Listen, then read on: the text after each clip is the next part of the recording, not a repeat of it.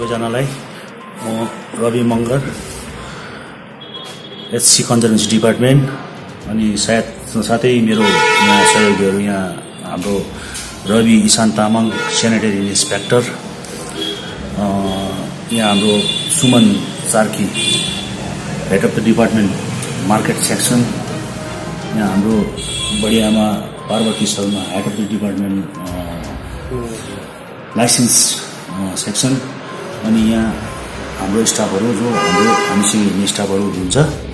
र विशेष गरेर आज हामी तपाईँ यहाँनिर च्यानल मार्फत किन आइरहेछौँ भने एउटा सानो तपाईँहरूलाई दार्जिलिङको जति पनि व्यवसाय अथवा बिजनेस गर्ने मानिसहरू छन् उहाँहरूलाई सानो हामी जानकारी दिन आज नगरपालिकाको तर्फबाट आज जानकारी दिन यहाँ हामी तपाईँलाई च्यानल मार्फत च्यानल मार्फत आइरहेका छौँ र त्यो सूचना अनि जानकारी चाहिँ के हो भने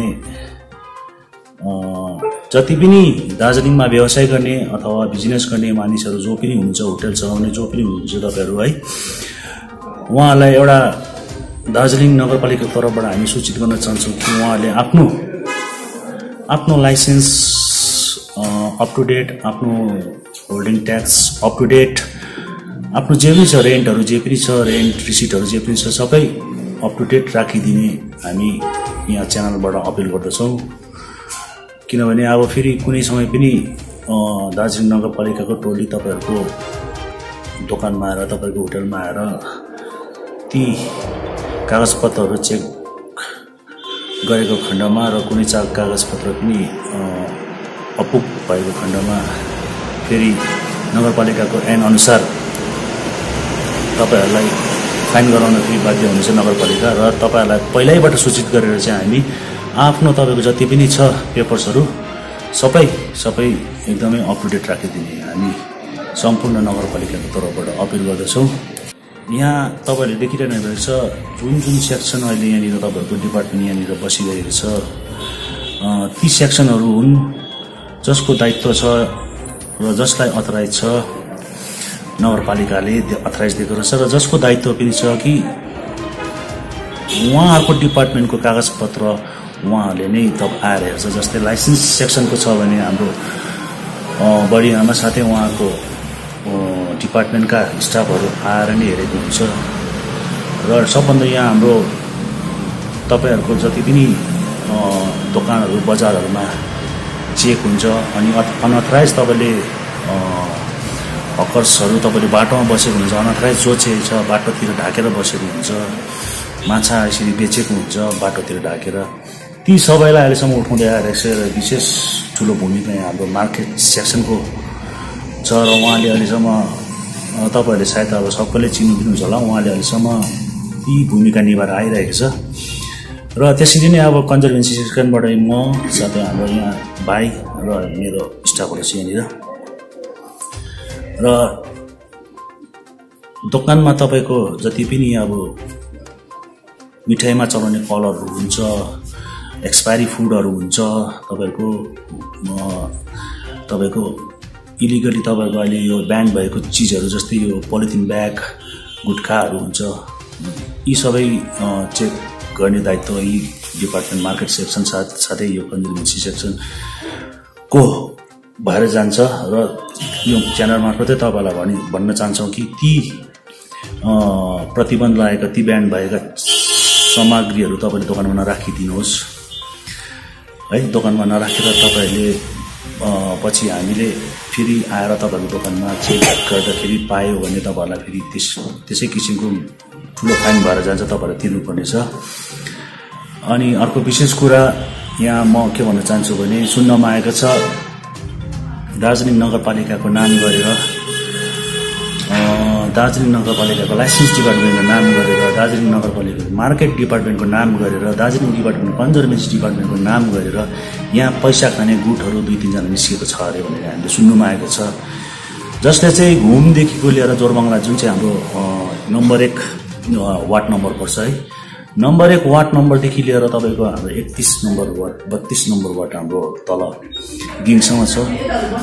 उहाँहरू सबैले उहाँहरूले ती एरियाबाट मान्छे मानिसलाई धम्काउँदै म म्युनिसिपालिटीको यस्तो हो म म्युनिसिपालिटीको उस्तो हो भन्दै मानिसलाई धम्काउँदै पैसा उठाउने कार्य भइरहेको छ र हामी कन्सर्न डिपार्टमेन्ट जो चाहिँ छ यो त्यो डिपार्टमेन्टका मानिसहरू चाहिँ साथै दार्जिलिङ नगरपालिका चाहिँ हामी तपाईँहरूलाई यो च्यानल मार्फत सतर्क गर्न चाहन्छौँ। त्यस्ता ठगहरू भनौँ त्यसलाई ठगहरूदेखिदेखि तपाईँ तपाईँहरू सबै सचेत बस्नुहोला तपाईँहरू जोगिएर बस्नुहोला र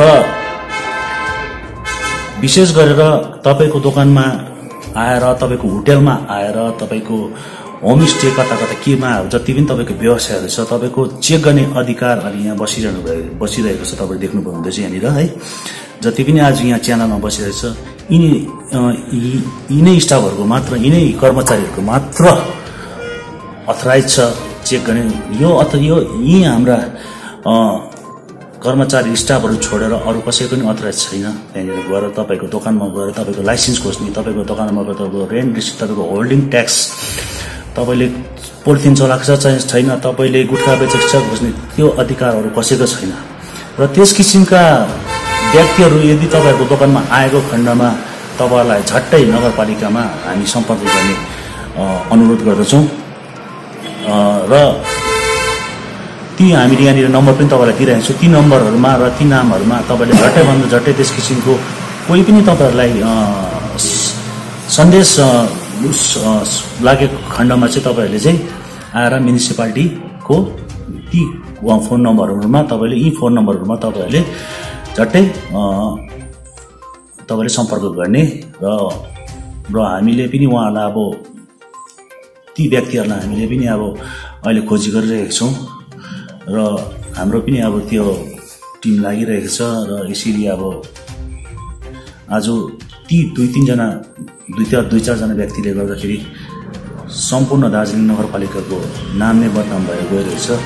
र हाम्रो अपिल चाहिँ सम्पूर्ण सम्पूर्ण दार्जिलिङका सम्पूर्ण जनताहरू जो चाहिँ व्यवसायमा हुनुहुन्छ जो चाहिँ जसले नगरपालिकाको लाइस लाइसेन्स चलाउनुहुन्छ जसले नगरपालिकाको होल्डिङ ट्याक्स दिनुहुन्छ जसले नगरपालिकाको रेन्ट दिनुहुन्छ। ती व्यक्तिहरू ती व्यवस- व्यवसाय गर्ने व्यक्तिहरू मानिसहरूले चाहिँ जोगेर एकदम सतर्क भएर जो आउँदाखेरि तपाईँको पेपर माग्दा नदिने हामी तपाईँहरूलाई अपिल गर्दछौँ। जो- जुन प्रकार तपाईँले भन्नु तर डिपार्टमेन्टकै पनि यसमा हात छ भन्ने कुरा छ नि।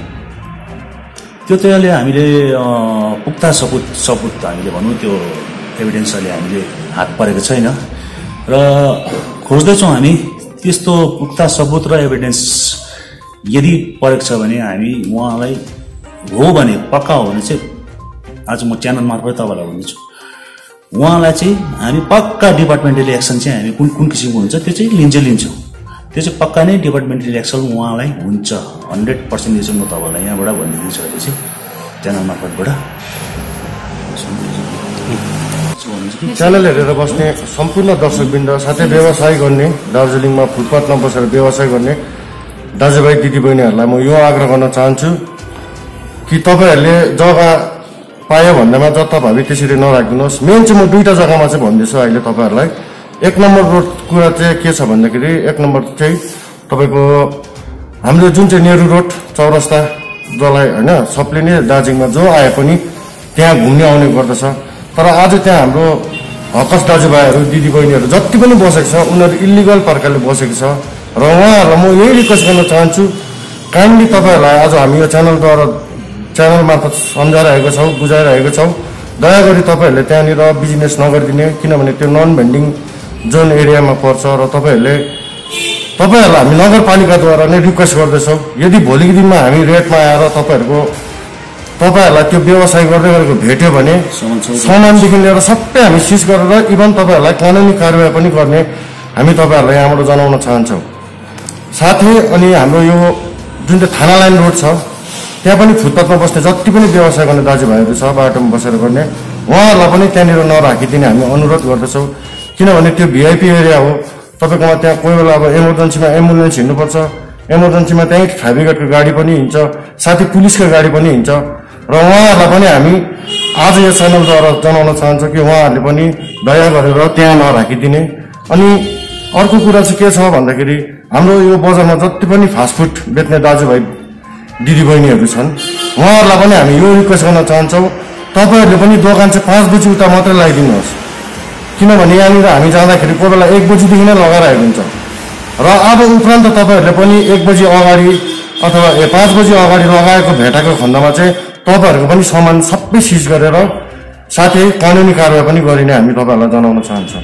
यो फुटपाथको कुरा गर्दै हुनुहुन्छ नि है। फुटपाथमा यहाँ आज दिन प्रतिदिन बढ्दै गइरहेको अवस्था छ र यहाँनिर भिड अलिकति बढ्दै गइरहेको अवस्था छ र यो भिड बढ्दै गएको अवस्था र यो फुटपाथ बढ्दै गएको अवस्थामा नगरपालिका मिलिभगतमा छ भन्ने पनि आरोप लागिरहेको छ नि। अनि त्यहाँ अब कतिजना अघि हाम्रो उहाँ रवि मङ्गलज्यूले भन्नुभएको जस्तै कतिजनाले अब हाम्रोमा हामीले प्रुफ त पाएको छैन। छ स्टाफै छ भन्दैछ हामी उनीहरूको खोजी गरिरहेको छ। हामी एभिडेन्स पाएपछि उहाँहरूलाई पनि हामी तपाईँहरूको च्यानल अगाडि ल्याएर। मार्केट सेक्सन त तपाईँ स्वयं हुनुहुन्छ है तपाईँ स्वयंले हेर्नुहुन्छ। त्यसो भने त यहाँनिर सिधै यो प्रसङ्गमा जोड्दाखेरि तपाईँमाथि नै एउटा इन्डिकेट गरेको जस्तो देखियो नि। होइन होइन त्यो चाहिँ कस्तो छ भन्दा फुटपाथको चाहिँ खासमा चाहिँ हाम्रो चाहिँ तपाईँको लिस्ट जुन चाहिँ छ लिस्ट अनुसार चाहिँ छत्तिसजना खालि हो तर यहाँ अब जाँदाखेरि छत्तिसजना भन्दा चाहिँ ज्यादा नै छ। कतिजनालाई त हामीले भन्यो पनि खेद्यो पनि। तर अब यहाँ चाहिँ हामीले देख्दाखेरि चाहिँ कस्तो हो भन्दाखेरि चाहिँ नगरपालिकालाई चाहिँ साह्रै नटेरेको जस्तो देख्दैछ। र अब हामी चाहिँ जति पनि रेटमा जान्छौँ हामी सँगसँग पुलिस प्रशासन पनि हुन्छ। होइन नगरपालिकालाई नटेरेको जस्तो तपाईँले भन्दै हुनुहुन्छ नि। के कारण?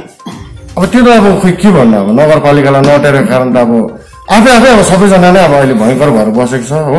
नगरपालिकाले एक्सन लिनु नसक्ने अवस्था त्यस्तो छ कि? नगरपालिकाले एक्सन लिनु पनि कसरी चाहिँ लिनु जो पायो त्यसले त लगाइरहेको छ। को कोलाई चाहिँ गर्नु? जुन चाहिँ हाम्रो लिस्ट अनुसार छ त्यो अनुसार त मान्छे त ज्यादा नै छ। नगरपालिकाले एक्सन लिने त्यो तपाईँको छैन कि? नस- नसक्ने होइन कि? नगरपालिकाले एक्सन लिन्छ तर यहाँ कुरा चाहिँ के आउँछ भने तपाईँको जति पनि त्यहाँ तपाईँको फुटपाथमा जति पनि त्यो व्यवस्था गरिरहेको छ त्यो पनि रेस्टुरेन्ट अथवा त्यो रेस्टुरेन्ट होइन त्यो फास्टफुडहरू जे पनि खोलिरहेको छ योभन्दा अगाडि पनि हामीले त्यहाँनिर प्रायः प्रायः के हुन्छ भने अब दार्जिलिङ सानो सानो जग्गा भएको कारणले गर्दाखेरि चाहिँ नि लोकल लोकल हामी क्या त लोकल लोकल नै पर्छौँ क्या त। हामी लोकल लोकल पर्दाखेरि के हुन्छ भने एकअर्कामा अब ठुलो फेरि त्यो बढेर जाने इस्यु हुन्छ क्या त अब किनभने ऊ ऊ पल्लो घरको म यताको त्यही मान्छे त्यही मान्छे हामी। झगडामा मुस्यो जस्तो हुन्छ क्या त किनभने किनभने उहाँहरू पनि एउटा अहिले के छ भने तपाईँको कुनै न कुनै अब त्यो के भन्नु त्यो पोलिटिकल पार्टीको संरक्षण संरक्षणमा आएको हुन्छ उहाँहरू है। अन्त उहाँ पनि एउटा आफ्नो एसोसिएसनमा भनौँ आफ्नो के हुन्छ त्यो युनियन बनिएको हुन्छ। त्यो युनियनको फेरि कुनै प्रेसिडेन्ट सेक्रेटरी आएर त्यति बेला सायद तपाईँहरू पनि हुन्थ्यो रहेछ जस्तो एउटा ठुलो हो हल्ला पनि भएको त्यति भएको थियो त्यति बेला है। र त्यो सबैदेखि अब के हुन्छ भने चाहिँ अब हाम्रो जो पनि अब त्यो त्यति बेला जो पनि त्यो स्थानमा हुन्छ हाम्रो जति पनि हाम्रो कर्मचारीहरू जो पनि त्यो कारवाही गर्नु गएको कर्मचारीहरू हुन्छ। र ती कर्मचारीहरूको मतलब के भयो भने हामीलाई चाहिँ के भयो भने ती कर्मचारीहरूको सुरक्षा चाहिँ हामीले नपाएको महसुस गरेर त ती कर्मचारीहरूलाई चाहिँ कुनै कर्मचारीलाई फमै केले हिर्काल्यो भने सुरक्षा नै छैन कुनै किसिमको त। र त्यसको कुरा कारणले गर्दाखेरि हामीले अब हाम्रो डिपार्टमेन्टबाट गर्नुपर्ने मतलब उर्जी चाहिँ हामीले बारम्बार हामी हामीदेखि माथि चढाइरहेको छौँ र त माथि चढाइरहेको र हामीले बारम्बार हामीले भनिरहेको छौँ कि यो कार्य चाहिँ खालि दार्जिलिङ म्युनिसिपालिटीको थ्रुबाट मात्रै सकिँदैन। जबसम्म यहाँनिर चाहिँ कानुनी पुलिस कारवाही पुलिस बल जबसम्म यो कार्यमा संलग्न हुँदैन तबसम्म यो कार्य कार्यक्रम म्युनिसिपालिटीले मात्रै चाहिँ गर्न सकिँदैन। किनभने भोलिको दिनमा त्यहाँनिर ठुलो हङ्गामा भएर जान्छ जसमा कि अब हाम्रो कर्मचारीहरूलाई नि मैले भने नि सुरक्षा नै छैन चोटपटक लाग्न सक्छ।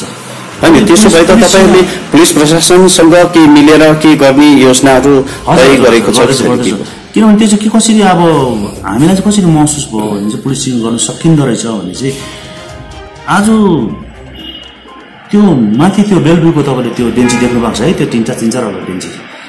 ती बेन्ची समय पुगेको थियो पहिला त्यहाँनिर त्यो फास्टफुडहरू पहिला। तर अहिले त्यो बेन्चीमा त्यहाँनिर क्लिन भएको छ अहिले बस छैन अहिले फास्टफुड छैन।